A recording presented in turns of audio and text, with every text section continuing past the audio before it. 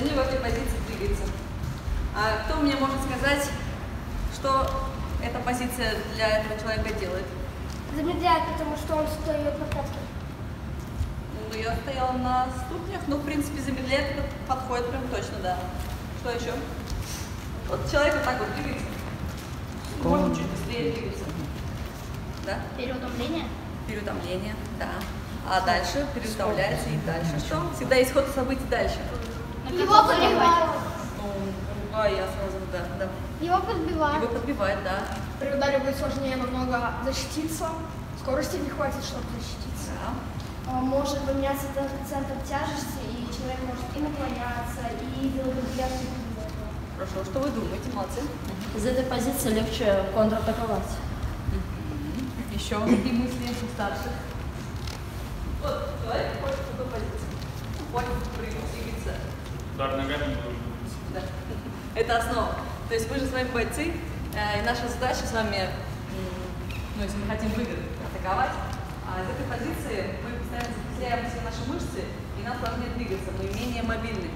То есть если когда мы двигаемся на более полусогнутых вариациях, мы можем много делать, а если мы вот в такой позиции очень сложно что-то делать. Вот. И еще один момент, ну это больше касается маленьких ребят. Вот я заметила, что когда вы очень хотите выиграть, вон тебя подниму. То есть вы делаете вот таким образом. То есть вы двигаетесь и такой. Что вот, для- расскажите вот, как вы. Да, А, При прыжках можно напереться на колено. не только. Открывается печень. И печень тоже открывается. Человек может отойти и просто упасть. Ну, как вариант. Еще? Могут э, как-то бить на вашем, подпрыгиваете, можно ударить случайно в ноги, и вы упадете. Да.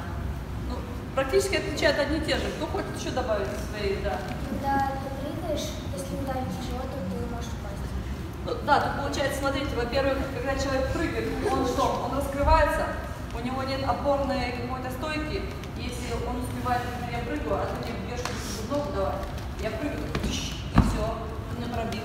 Потому что мышца моя была в воздухе, она не была зафиксирована, она была растянута. И любой, даже его удар, он бы так раз пробил мне нож, представляете? Так что основа этой позиции. Старайтесь вот даже вы, потому что нужно сначала, пока вы маленькие, закреплять позицию стойки. Когда вы становитесь больше, вы добавляете определенную технику. Тогда это все нарастает, нарастает, нарастает. Так что есть возможность вы не справиться, пожалуйста, слушайте все внимательно то, что я говорю, и запоминайте. Возможно, это вам поможет стать каким-то суперчемпионом. Сейчас у нас будет другая работа. Кто хочет поучаствовать? А мы ставим твою позицию. А ты берешь через плечо, рукой. А я тебе. Смотрите, мы с ним будем двигаться, просто я тебе, ты ко мне. И в любой момент, либо я, либо ты, уходим, сбиваем дистанцию. Опять. Двигаемся. Там, там, там, сюда. Оп. Вот, ты молодец, задержал. То есть специфика прочувствовать. То есть мы когда держим плечо, это просто такое подводящее упражнение.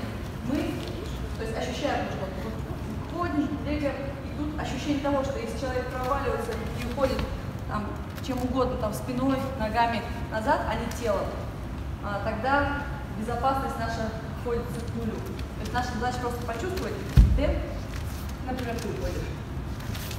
Вот, белая левая рука. Да. И моя задача подойти, но не свалиться вперед. Всем понятно? Точно? Давайте выбираем пару смен. Я